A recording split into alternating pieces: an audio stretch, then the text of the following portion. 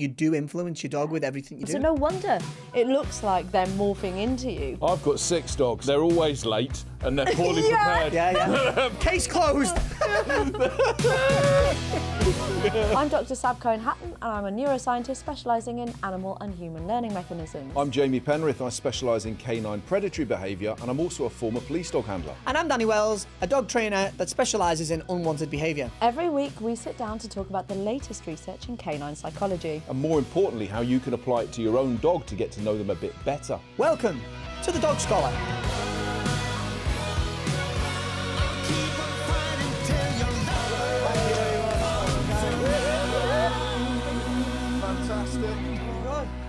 Right, let's go drum Guess what? You've got a question. You ready for my question? I'm always ready for them questions. Good. Let's do it. Do dogs morph into their owners? Mm, that Oh, I, depends. thought, The- I didn't think that was the end of the question. I thought you were going to say, Yeah, yeah, so own as what? No. Do dogs morph into their owners? yes, do they do morph they into their like owners? their owners? Given we know that they can read us really well, does our personality affect theirs? do people select dogs that to match their personality type? Because like lots of people might think, "Oh, I'll go and get a dog that's an outdoorsy type because I'm an outdoorsy type of person." Or, yeah, yeah. You know, Does someone get a couch potato because I'm a couch potato? Do you spend so much time together that you just become one? You don't gel with your dog. I think dog. it sounds lovely, though. It does sound lovely, It doesn't does, doesn't it? It does. It I'd, li- I- I'd live in hope. And do you change to be like your dog, or does your dog change to be like you? What came first, the you or the dog? No, that doesn't make It doesn't any really work, sense. that doesn't no, it? it doesn't. I sad. tried. I tried. I think we should keep that in, though. I think we should keep that in. I'd get heartburn if I was eating on a ball off the floor. I'd get terrible heartburn for that. Yeah, I can't reach my own bum to lick it. yeah, God knows you've tried. yeah, yeah, yeah. Oh no, I'm speaking from experience. Yeah, yeah. And I tell you now, as witnessed in the past, that you'll get an A for effort. It wasn't, Yeah, yeah. wasn't a throwaway comment. wow, I knew you guys were close. You've got to have science to uh, back it up, right? There's actually some evidence that it might. There's a study, and it is a good study, and it took 78 people and their dogs, and the owners took a personality test, and then they and their dogs took part in an experiment. Well, they had to do two really simple things. Right, the first one was to go into a new room that the dog hadn't seen before and tell the dog to sit in the middle of the room. Now, I did say sit. I saw you looking at me then. Yeah, we got back, the dog was gone, but there was a turn in the middle. Uh, basically the experimenters were looking at how long it took the dog to sit to obey the command and how much time they spent looking at their owners. Now the second thing that they had to do was while the dog was sitting by the owner, a stranger had to walk over to a ball, pick it up and tell the dog to look and then walk over and hide the ball behind a screen and then walk over to the dog and show it its empty hands. Essentially they were interested in how long the dog took to look at the stranger and how long it would take to stop looking at the ball. Yeah. Right. Now they were looking to see whether dogs owned by people with a particular personality trait would behave in a consistent way. And believe it or not, they found that they did. They found that your personality can affect the way that your dog behaves in a predictable way. Neurotic people who've got a tendency to be quite anxious and insecure would give more commands to their dogs, both verbally and with their hands. They were moving their hands around, telling their dog to sit and waving their hand around, for example. Now, their dogs took much longer to obey. Extroverted owners, who were very sociable and affectionate, also seemed to have extroverted dogs. They'd look at the owner much more and they were less interested in less social behaviours like looking at the ball. So they preferred their owner to the ball. Dogs with agreeable owners who are quite soft hearted and trusting, a bit like us, we're all lovely and An soft hearted. agreeable and trusting, owner. aren't? What An a name. agreeable oh, owner. Oh, yeah. An agreeable mean? owner. means you just go go go with anything you sold. it means you never signed up for a study. You just said you're doing a study anyway. Yeah. Yeah. Okay, I trust you. I trust you. But their dogs spent more time looking at the ball, and I would guess they're looking at it quite expectantly because if they're quite a, quite a soft, agreeable person, they're probably giving in more and giving them the reward more. Dogs weren't morphing into their owners. Dogs are associative learners. They make associations between things. They link things together that they experience. So they're learning from what you do all the time and how you do it. So, yeah, your personality definitely influences your behaviour, and that's the thing that drives what your dog expects of you. Can I ask? like, The, the You can ask. You can ask. Can You I? can ask. You can. Oh, Yeah. Yeah. thank you. You can, you may. I'll get back in my books afterwards. Thank you. Um, break. the- my- my- where's the value in me saying that it's that the dog is morphing into um, their owner or becoming something beyond what they are in in furthering our understanding and the welfare if i'm sat there with my dog and i'm thinking you know uh, you know th- this relates to you mate how does that how, how would that research those findings what they're what they're trying to prove benefit that do you think you know Well, I think it's. I've got a red heron. have you? a red I've got- heron I've got a red heron. heron Yeah, yeah. So I, I have. you- fa- would you like some I- cream I, for I, that? I'm going to watch Jamie's eyebrows go up when I open this. Okay, ready? I That's I- not the first I- time I've heard you say yeah, that, is yeah. it? I, I am. it's not Come my on, eyebrows. show us your heron. I have five dogs. All of them respond to commands, but all of them in very different ways. Their own personalities come through. If I tell, if I tell Wade to down, Australia will shake. He downs that fast and that hard. Logan will be a bit slower. He's a he's a bigger dog. Ralph does it, but he gives me this look like he doesn't really know that he's alive. you know what I mean? Um, Lenny's still in the learning process, and Flint's just slow and laid back. So you know, he's they're not they're not responding as I would. Whereas anyone who knows me as an individual, even when you're speaking to me, I'm very fast and animated. I'm actually making a really concerted effort to be nice and mellow here, so you can understand what I'm saying. But that's the way I am in everyday life. The what, what was the one? The erratic owners, the dogs were uh, struggling. Neurotic. uh, the neurotic, owners. They the took dogs were longer to obey. Yeah, they took longer to obey. And the, the owners were giving more commands and Yeah. gesticulating more. Yeah, well. and there's, there's loads of things without going, you know, too dog trainery. There's loads of things that take that take play a part in that, and we we've mentioned before overshadowing. Yeah. If you're pairing physicals with verbals, dogs are going to struggle to understand the verbals. And neurotic a, a physical people, command and yeah, verbal and a ver verbal so something command the dog together. hears and something the dog sees. Sees the they're going to likely see what's, what do what they're seeing. So if hands are moving left, right, and centre because you're you're a bit more neurotic, but you're given a command, then they're going to struggle with that. But I'm quite consistent in my commands, and I know this because of video me work for for Mm. Yeah. me, for me job. And you, Yet- you do it every day. Every day, It's- yeah, it's every your- day. So all my dogs do do the commands, but they all do them in very different ways. They're not mimicking me Mm. per se. You know what I mean? If I, if I'd say one of them would be closer to me, it would be Wade. Everything's Yeah. fast and dynamic all the time, but they all these all still respond instantly to commands. Yeah. But the um, or requests, they all um, they all respond, but in very different ways. So if if there was any sorts of um, morphing going on, surely they would all be the same, wouldn't they? Well, do you know that's a really interesting one. It would be good to do this uh, Mm. in multi-dog households, wouldn't it? And see if you've got those common traits across all of the dogs yeah. in the household. But of course, then you might have one dog that you interact with more or less, which might influence it as well. I, I when I read that title, I instantly think, nah, not at all. Because when do dogs morph into their owners, I thought the last thing I need is a dog trying to bite me on assessment and the handler. you, know, you know what I mean? all at the same time, juggling plates everywhere. Yeah. Do you have to? Yeah, yeah, I've got six dogs. and They're always late and they're poorly Yeah. prepared. yeah, yeah. But they're Boy, shit. yeah. so Case, amazing. case closed.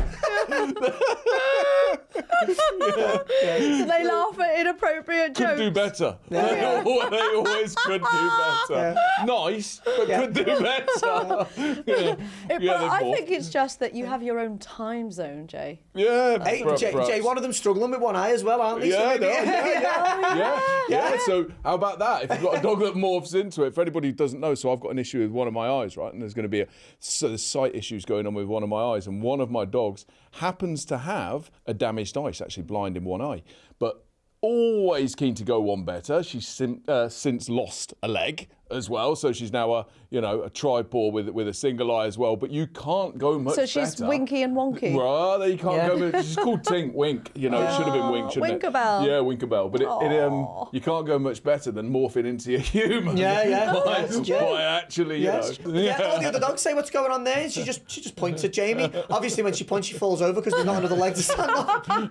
Oh, bless her. She, she responds late when they ask her the question as well. You, what's interesting, Jamie? Do you see something similar? Do you see different different styles in which your dogs perform amongst them? Having six dogs. Uh, if I were to say, you know, I don't see myself with my dogs again, uh, five Labradors and a Labrador Pointer Cross.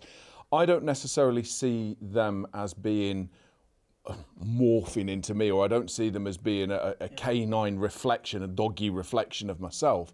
I like what that that, that breed of dog, that those types of dogs are. I like the I like the sort of like relatively easygoing Yeah. um, temperament of them, personality of them, if you like. I like that they're affectionate. Yeah. I've nurtured the affectionate nature of that as well, so it's not something that just naturally even is. the, even through your breeding program, Yeah, you, you know through- you know what you're looking for. Yeah. I do. Yeah. I do. But but I wouldn't say you know they're they're each uniquely individual as well. Yeah. You know, even though they are from the same family line and live in the same home. But don't forget, you guys are both professional dog trainers. You've been training dogs all your working lives. So presumably you're responding in a way to teach your dog Yeah. things that's really There's consistent. consistency there. It's not going to be the same for a Yeah, going back you know, to the, for- um, the ne- the the neurotic um, owners, if they are neurotic, then chances are how they implement any sort of training to their dog is going to be neurotic. Yeah. And neurotic doesn't create cons- consistency in behaviour. So it would be very easy for an owner to go, look, they're just like me. Mm. I, I, I can't get work this out and I can't do this as well. So it, it's it's easily understandable. oh, sorry, it's understandable that an owner could think that. Yeah, and, and obviously with the extroverted owners as well, they're more sociable, they're Yeah. more affectionate, they're going to interact But if you're if you're an extrovert and you are sociable and you are interacting, then chances are your dog's with you when you're doing that as well. yeah. So they're getting a lot more social exposure. You're doing it and your dog. witnessing social norms. They're The learning interaction. what's socially normal interaction. Yeah, they're witnessing this and being exposed to this a lot more than someone who is say introverted. yeah, yeah, yeah, exactly that. I don't even necessarily that, know that it needs to be like when you're talking about people like that. Yeah. You know, it, it doesn't even need to be the implementation of training with them, just Yeah, the way in which people live, live. with their dogs. Yeah, yeah, You can 100%. have a chilled out person Yeah, with yeah. a chilled out dog, and Yeah. just Yeah. the way that they're.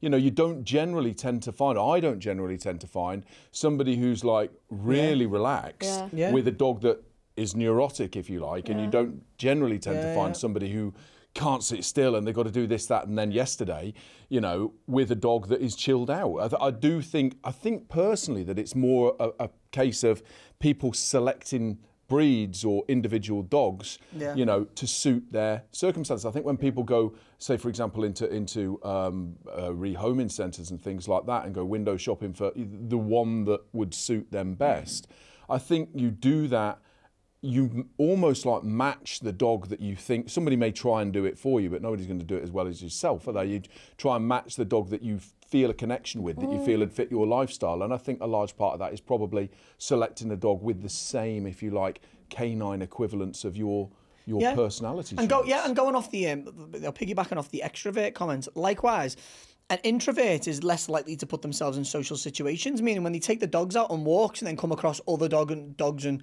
dog walkers, and the dogs like are a little bit unsure, freaking out, it's very easy to go, look, they're just like me. They don't cope well, well in crowds and things. But you've mm. not really put that time into teaching them how to cope in those crowded situations. And, Or I mean, don't forget these are trends as well. Yeah, this isn't yeah. a rule. This Yeah, is yeah. a trend. Yeah, So generally speaking, when people are looking at their personality inventories and then looking at the way they're interacting with their dogs, these are trends that they, they seem to be finding. You know, and for me, it's so clear. It's not that the dog is turning into you Yeah, at, at all. all. Yeah. They're reading you and responding in a way that's consistent with the cues that they're taking from you. They're Mm. just responding to you. Cues they're learning being- it. The cues being the signals that you might Right. be giving off. But even when people are selecting breeds, you generally, people will generally look through a breed profile or various breed profiles and select characteristics within that breed that will match, or they should do. Yeah, you they know, should. very, they really should do. But, responsible as you should. but nine times out of ten, the process always starts with aesthetics, don't they? I like the look of this, and then read about it, and then hopefully you make the right choice with Oh, what's good for your lifestyle, and not I want this, even though it's a lunatic. Uh, it didn't with me. So with my dogs, the way that I ended up with the breed that I have, the Mexican hairless, is because my husband is severely allergic to dogs. and hairless. And, ha- yeah, and hairless. And a yeah, they're definitely Mexican. morphing into. Yeah, But yeah, I, yeah, I yeah. could not live without having a dog, and it turned out that a rare breed was cheaper than a divorce, which is where it was going to go otherwise. Oh, poor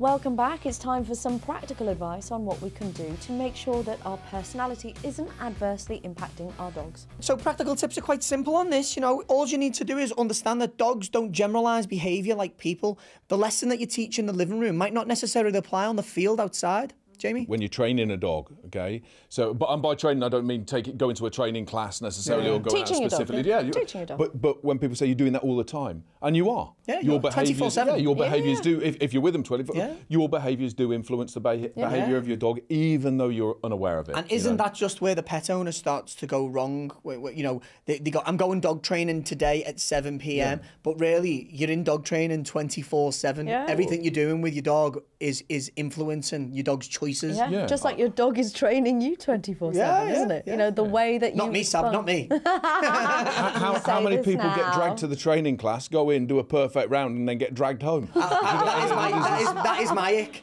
That is Yeah. my ick. I, I'll set it up sometimes and go, right, thanks so much, guys. Have a good weekend. Stop! Everyone just gives a giggle because they know what's coming. Yeah.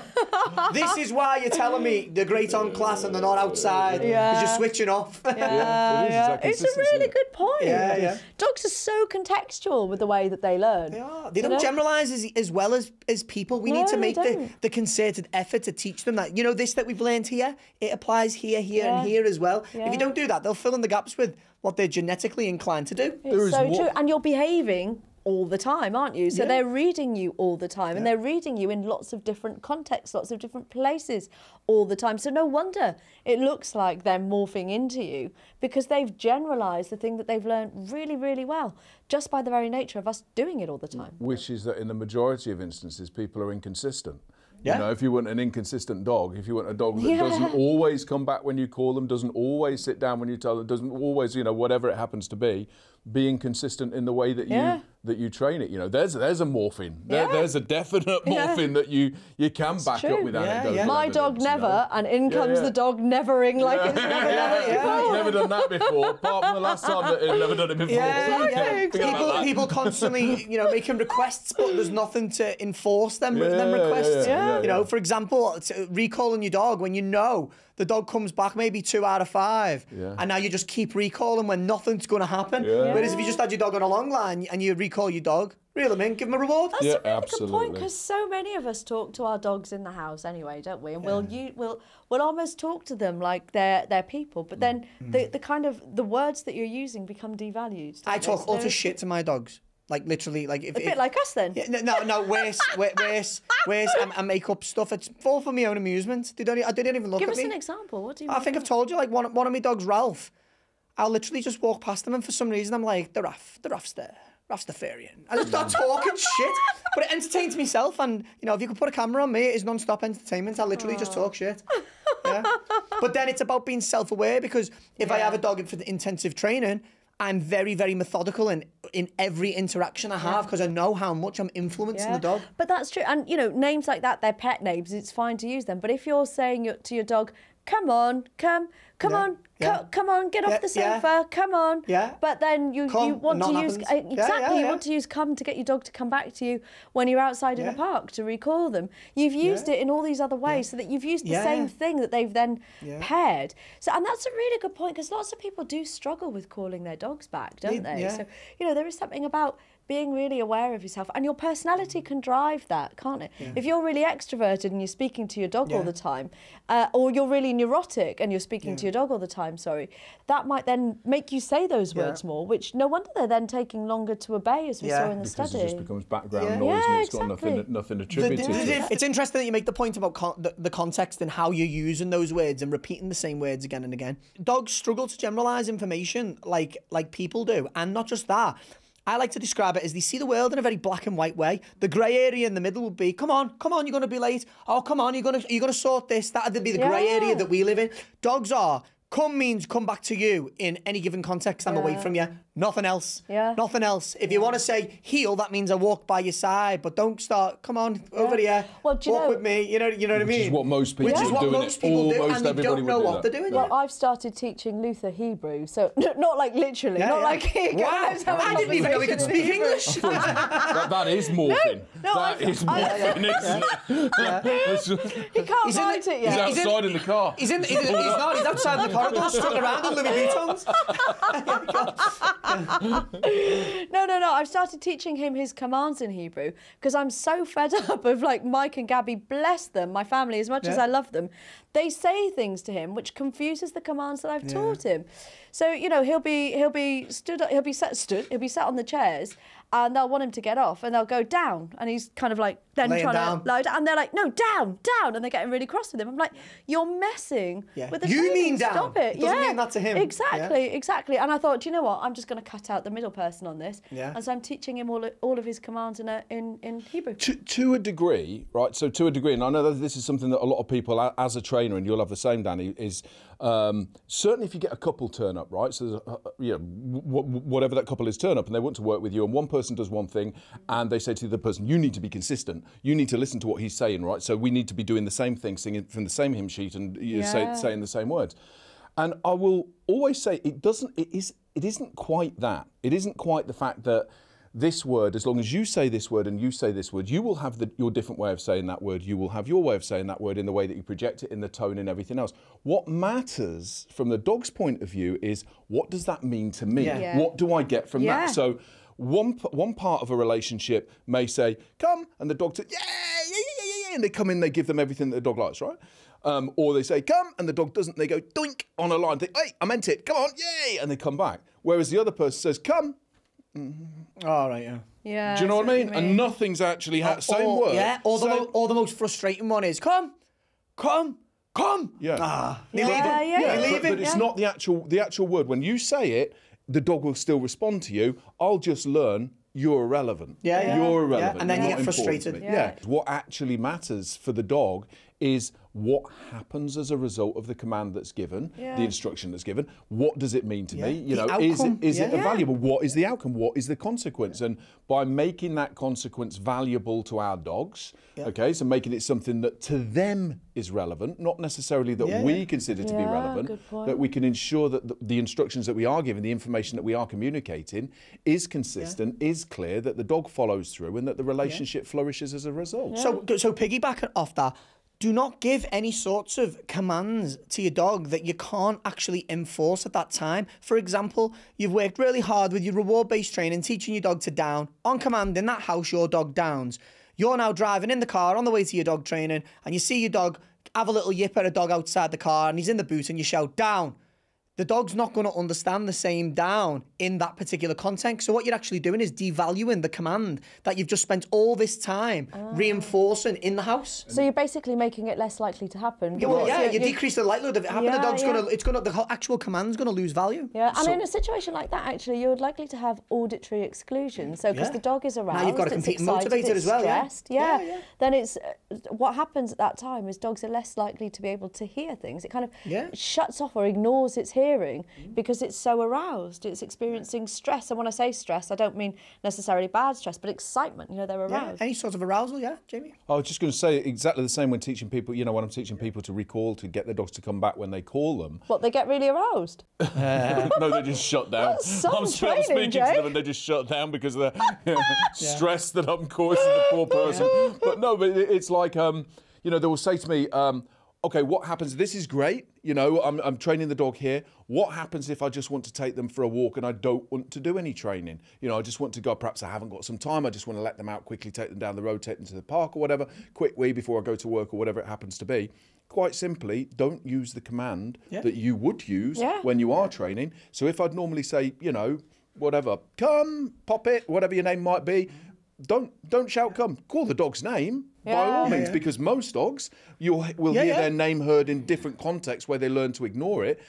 Equally, on the flip side of that, don't let your dog's name be your way of recalling them, of calling them back, but instead choose a different word or a signal like a dog whistle, which means nothing on its Yeah. own. And associate form an association between when you hear this whistle this food is delivered. When you hear this whistle this toy is delivered. When you hear this whistle ignore it. There's the doink on the long line or you know Yeah, some yeah. kind of interaction to be able to say no you've got to turn and come back towards me. The whistle means something. And if i want to take you quickly don't take the whistle Right, okay, so we've got a, a listener question.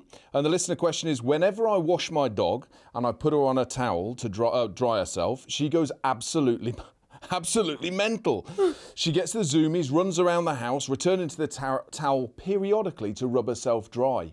Why is that? because she's wet. It sounds like a sort of like a lateral thinking It question, does. not it? It does.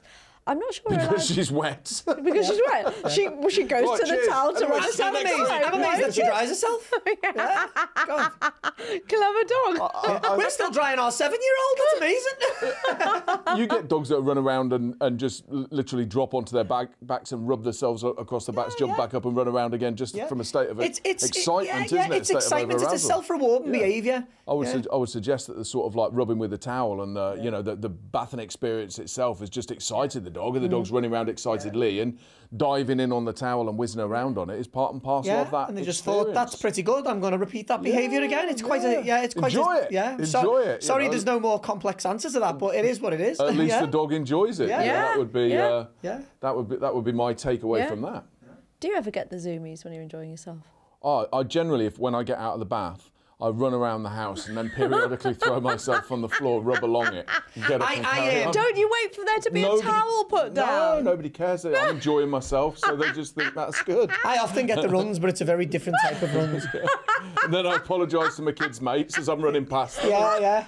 Carry on. I don't think My that's house, a my good rules. thing to do. Okay, coming on to a second question then. I find that cats only meow because they're trying to communicate with humans. Is this the same for dogs? Yeah, th- th- I've, I've never heard a dog meow. No, I've never heard of that myself. No. Yeah, yeah. That's funny. Does it purr? I love that. I'm, do you know what? I'm looking in the camera now. I'm actually pissed off that I never thought of saying that. Yeah. beat me to that. And then, do you know what? I'm Comedic more, envy. I'm more pissed off. He didn't beat me. It didn't even register. It didn't even register. Do- dogs can vocalise to try and communicate, and it usually comes from a place of frustration. Yeah, because mine speaks Hebrew, don't forget. Yeah, yeah, don't forget, yeah. so, for an example, you know, if you've got the, um, if you've got a water bowl uh, in, in a regular place and it's empty and you're not aware you're watching the telly, some dogs will bring the bowl in and show it to you. Some dogs will come in and start barking and spinning and looking at you and then running out and running in. They they communicate in many different ways. It doesn't have to just be vo- them vocalising. They can they can they can go out of the way to tell you what they want. I've never got meowing. Some, I've got some um, genuine, uh, sort of like anecdotal experience of this uh, with my own dogs. And the communication and the way in which even the bark, and anybody who's got dogs would be able to, if you pay attention to the fact that you, you know how your dog's communicating with the bark, and there are different barks for different situations, mm, right? So you have your guard guarding barking, where Yeah, you, yeah. someone turns up and get the woo woo woo Yeah, that sort of thing. Suspicion. You know, throwing itself at your living room window or whatever when anybody or anything happens to be going back past it. Then you'll get, if I look at Bonnie, who's my older Labrador, when she's, as she's got older, she's, you know, a little bit sort of like deteriorated in her, uh, her sort of like mental capacity, I guess. But when she wants attention, if she's left on her own, it will be a, a tempo of roo, roo, pause, Yeah. Roo, roo. Yeah, yeah. pause, and you, you'll hear it. And I've heard other people's dogs do it as well. So it's that double, that double. Um, somebody's dog somewhere, somewhere is probably woof. saying there's a bloke outside wants to come in. He's Yeah. left on his own. But that that sort of like double bark is communicating something different, and it's a really. This would be something that would be fascinating to look really at as well, wouldn't it? It's There- different vocal communication. There is, there styles is with there the is an um, there is a study uh, somewhere. I've, I've I've I've brushed past it ages ago about that can start kicking in when the dog becomes seven and eight years of age. As with age, they can start to become a bit more vocal over things and do that Bit sort like of even, granddad, even rhythm though barking. throughout her entire lifetime, perfectly It- happy it's being fine, left and then alone. and then it starts to happen. It also said in there that this it can happen with um, irrational men on fears. Twitter. Irrational, yeah, yeah. irrational fears, irrational fears around that age, and it's to do with aging. Yeah, Yeah, I've seen it's- that. it's- I'll have to try and find that. I think anybody. Well, it's a good job we have a science-based podcast. Yeah, then. There we go, yeah, yeah, yeah. it'd be a- that would be a really. I think it would be a really Yeah, interesting yeah, one, and, yeah. and for other people. But just too. with you know, without linking to age, I think we've all witnessed dogs, you know, attempting to communicate when they when they want something particular. You know, they, Yeah. again they're, they're aware of space and time. When the time they usually get fed, my dogs will always be fed at half past three. Every sorry, it's a lie. Half past two. It's every day, and I still get it wrong. At ah. half past two, and I guarantee you, twenty past two. Woo, woo, yeah. woo, woo. Or every time. Similar sort of thing. Yeah. Similar Is that the noise you impression. make when you're feeding them? Yeah, yeah, just it, it? just passes the time. and- yeah. Yeah, they, This is they'll make, us to a they'll make noise. Yeah. They, they, they uh-huh. know it's fe- it's it, this is when they get fed. Yeah. And then and then that will get a little a little bit more prominent as the air the bowl's going and stuff like that. It's Yeah. interesting as well, isn't it? How we, you like anybody who hears the dog barking, generally you can tell the difference between. You know, you don't need somebody like like me to say that. You can tell the difference between. I know they're barking for such and such, or, or oh, somebody's turned up, or go and check that that parcel hasn't arrived at the front because the dogs, the way the dog's barking compared to other barks that the dogs might give that don't give you think, what do they want? Do you know what I mean? It's a different sort of uh, communication that they're giving. that. But great questions. Good Again, questions. We love Absolutely. questions. Give us more questions, please. We want them. And if you do want to give us a question, Jamie, how can they do it? We are at Dog Scholar Podcast on social media, or alternatively, you can get in touch with us by email at podcast at thedogscholar.com. Woohoo! Danny, I'm feeling icky. Okay, we've got the first ick from Katie from. I fucking love this. Penis stone. Sounds like something that you'd need to get removed. Does anyone? Yeah, no, it does, doesn't it? Yeah. Well, yeah, yeah. Peniston is pronounced. Oh, is, Is it? Oh. There we go. Oh, Peniston. pronounced It is actually Peniston. spelled penis stone. That's probably why Well, they well, pronounced well, well, it penis differently. Okay. It's a bit like Well, the hyacinth bouquet All right, stroke either way, bucket thing. Katie, isn't it? uh, Katie's ick is when people get high energy dogs only to put them in daycare for most of the week. Yeah, I think I think that's that's Yeah. more of sort of like a welfare issue than a. Yeah, you have to be aware of when yeah. you do, when with things like this. You know, if you've got a really high energy dog, day, daycares, you know, they're quite busy. They're not going to be able to give that dog the individual time, and chances are that, it, that sorry that it needs. Chances are it's going to be left to run around with a load of dogs and. The worst case scenario is can create a variety of different aggressive responses to different dogs. But the best case scenario you can hope for is you're going to charge up the best competing motivator in that dog's world, and you're not going to be able to get the dog back when it sees a dog on a field. Right, Yeah. so let it play with other dogs, and it's going to always want to play with. Yeah, other that's dogs. it. Well, you know, in, in, in excess. So, you know, if you if you do lead a really busy lifestyle or you're always on the move because you're energetic, you're probably best not choosing that dog to line with your personality because Yeah. the two are going to conflict. Yeah, or get a cat. Yeah, I was say, th- that said, you know, I suppose if you're in the situation where you've already got a dog like that and you do have to do some something for it, better that than left at home or not. Yeah. It depends on you. It really depends on how long you're out of the house for, doesn't it? yeah. enough. If you're out of the house for a long time, um, I would, I would. It's going to cost you a bit more, but I would suggest that you look for someone who can provide a bit more one-to-one, you know, um, dog-centered time for your dog. Yeah. Like a dog walker or something. Yeah, thinking. yeah, like a dog walker. You know, if you're out for eight hours, you can get a dog walker to break that time up. Yeah. Um, as long as you're providing fulfillment morning and in the evening for your dog. Yeah, Okay. that's so important, And, isn't it? Yeah, and the next ick we've got Lindsay from the Wirral, and she says he slash she will be better off the lead. Just let him off. Now that, that kind of implies that you've got a dog kind of reactive on the lead, and they'll be okay when you let them Yeah, off, it doesn't does, it? doesn't it? And my attitude with this is always, if it isn't right on on the lead, it's not going to be right at, at a distance. If that if you're referring to recall, that's a definite no no. so you're isn't it? basically saying if you've got, you know, she, she is, is basically Yeah, saying yeah, Lindsay- Lindsay. So Lindsay's That's it, basically. Well, so Lindsay can be a guy's name as well. Don't be so sure. Well, no, because it was on my social media and I seen the profile picture, so we're not making assumptions. This enough. is factual. Okay, okay, okay. So, Fair enough. yeah, I'm Lindsay- just, I'm just standing up for the Devil- Lindsay guys out. there. yeah, yeah. Robbie Lindsay. That- there you go. There you go. There you go. Lindsay Hoyle, Speaker of the House. Yeah, yeah, yeah. But basically, so you're you're, you're basi- well, Lindsay is saying that just because you've got a dog, or if you've got a dog that you're struggling with, the answer to resolving that struggle Absolutely isn't not. just listening to someone in the park who says, "Let them off, they'll be all right." And you know, you know, we don't doubt that someone said that before. You've let them off, and they have And been it's been fine. fine. Yeah, yeah. But the catastrophic outcome of if you let that dog off and there is a serious dog fight is just not worth the risk, is And it? you're the one that, that, at the end of the day, the buck stops with Yeah, you. You're the you're one responsible for your dog. being responsible. A- Yeah, and some people might be referring to barrier frustration, where they're getting frustrated because they're, Yeah. you know, they're constrained. Yeah. But, But if, that's not the answer then. No, yeah. it No, the answer is isn't. to It condition really the dog to not feel frustrated on the lead because, Yeah. you know, they might well, if in a, in a distraction free environment, they might be frustrated. You let them off the lead and they're fine. But if you then apply that to with dogs present, you've now just had a dog that's hit the pinnacle of arousal and now you've let it off the lead. That's how a dog fight starts. yeah. Best way to deal with that: train it. Train your dog. Train Train your dog. Train, Train your dog. well. Train your dog. Don't tolerate behaviour that you're not comfortable with tolerating. Absolutely. Amazing. Well, that's all we've got time for this week. If you've enjoyed this episode, then please share it with a friend. And if they don't like it, maybe their dog will. Over to you, Danny, for a final thought. So we've established that dogs do not morph into their owners any more than the owners morph into the dog. You would not be trying to lick your balls on the couch because if you did, you'd probably fall off. Fair enough. Tiny balls, Don't bother so- trying that. Don't, Don't bother try and lick anything, you'll fall off. See you next week.